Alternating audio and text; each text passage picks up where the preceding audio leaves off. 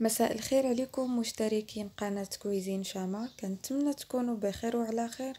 ونلقاكم إن شاء الله هذا الفيديو هذا في أحسن الأحوال. اليوم إن شاء الله غنوريكم طريقة تحضير السيميت التركي المعروف بالطريقة الأصلية ديالو وبمكونات اللي هي موجودة في كل بيت. غنحتاجو أول مكون اللي هو الدقيق وكيبقى بحال ديما حسب الخليط. غنحتاجو بالعبار ديال كاس ديال العنبة كاس ديال الماء دافي وكاس ديال الحليب حتى هو يكون دافي تقريبا ربع معلقة صغيرة ديال الملحة معلقة كبيرة ديال خميرة ديال الخبز بيضة واحدة يعني كنحتاجو غير بيضة واحدة زوج معالق كبار من زيت نباتية وتقريبا ربعة ديال المعالق كبار من سكر سنيدة. وغنبدأو بسم الله بأول حاجة اللي هي تحضير العجين. كنضيفو كاس ديال العنبة من الماء دافي نضيفو ليه خميرة ديال الخبز ولا الخميرة الفورية نحركوهم مع بعضياتهم حتى تذوب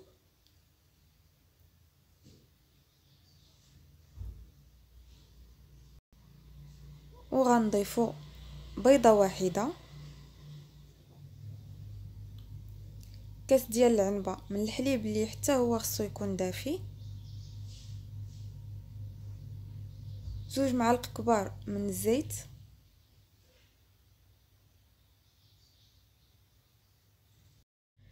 كنضيفوا ليهم تقريبا أربعة ديال المعالق كبار من سكر سنيدة. هي كتبقى حسب الذوق يعني تقدروا تضيفوا حتى لخمسة ديال المعالق. الماكسيموم يعني خمسة ديال المعالق تاع سكر سنيدة صافي يعني كافية. وتقريبا ربع معلقة صغيرة ديال الملحة. من بعد كنخلطوا هاد المكونات مع بعضياتهم مزيان حتى كينسجموا لينا. وكيف ما كتشوفوا ما كنحتاجوش الخلاط الكهربائي يعني غير بيدينا نقدروا نخدموها مزيان. من بعد كنبداو نضيفوا الدقيق تدريجيا يعني شوية بشوية. وكيف ما كنقول لكم تقريبا في جميع الفيديوهات ديالي إلا بغيتوا العجين ديالكم يكون خفيف ليكم ضروري في الأول يكون سائل يعني يكون جاري. من بعد كتبداو تقلوه شوية بشوية بالدقيق. وما تنساوش قبل من هذه المرحلة هذه ضروري الدقيق ديالكم تكونوا غربلتوه مزيان. صافي كنستمروا بهذه الطريقة هذه حتى كنحسوا بالعجين ديالنا يعني صافي بدا كيتجمع. كنجمعوه ونغطيوه بالبلاستيك الغذائي. كنخليوه يرتاح تقريبا لمدة 45 دقيقة اولا تقدروا تخليوه حتى لساعة اولا ساعتين باش هكا كيرتاح لكم مزيان. ونرجع لكم باش نكملوا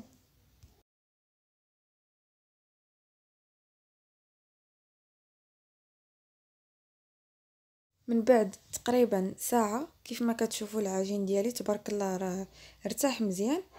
باش ما ياخذش ليا الوقت بزاف والفيديو ما يكونش ليا طويل شكلتهم على شكل كويرات صغار. كندهنوا سطح العمل بشوية ديال الزيت باش هي كتخلي كتسهل علينا الخدمة. صافي وكنبداو كنخدموا بهذه الطريقة هذه كيف ما كتشوفوا معايا اللي هي طريقة سهلة. وما كتحتاجش منكم شي مجهود اللي هو كبير. أنا غنستمر بنفس الطريقة حتى نخدم جميع الكويرات اللي عندي تقريبا ونرجع لكم. من بعد ما ساليت كيف ما كتشوفوا كناخذوا زوج بهذه الطريقة هذه وكنبداو كنلويوهم بطريقة سهله وحتى هي راه ما كتحتاجش منكم شي مجهود كبير. أي واحد يقدر يديرها. كيتخدموا بهذه الطريقة هذه كنحاولوا نلويوهم مزيان باش تكون مزيرة وما تحلش لينا من بعد.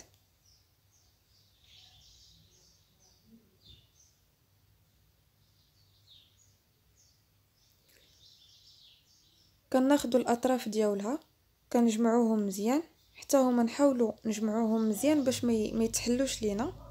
كتجي بحال هكا.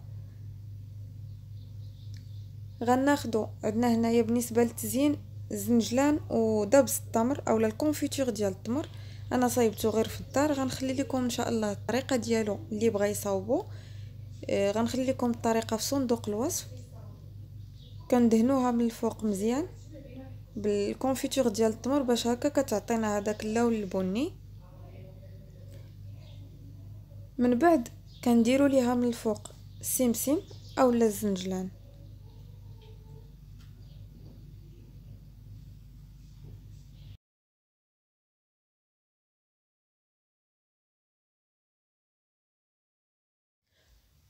وبنفس الطريقة.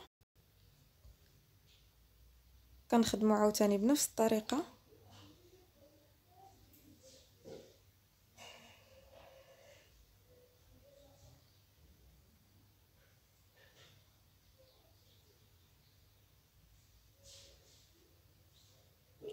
كنزيروها مزيان.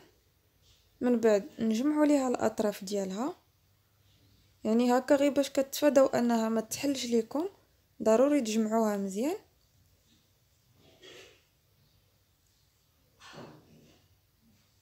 كنديروا ليها ال confiture ديال التمر من الفوق. صراحة كيجي زوين حتى في المذاق ديالهم كيجيو زوينين بهاد البلوغو ديال التمر.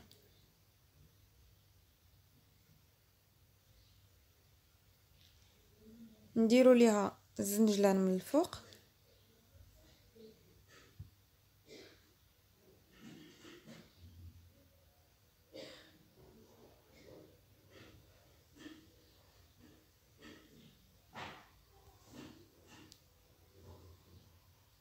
وهكا كنكونوا سالينا. كيف ما كتشوفوا كيجيو بحال هكا غنستمر بنفس الطريقة ونرجع لكم وهكا كنكون ساليت الكمية اللي عندي خرجوا لي 8 حيت أنا درتهم شوية كبار يعني تقدروا تصغروهم.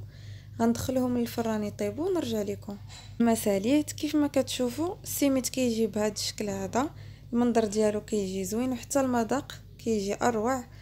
كنتمنى تجربوا هاد الوصفة هذه غادي تعجبكم وتعجب الوليدات الصغار ديالكم. ونتلاقاو إن شاء الله في فيديو جديد مع وصفة جديدة وبصحه والراحة.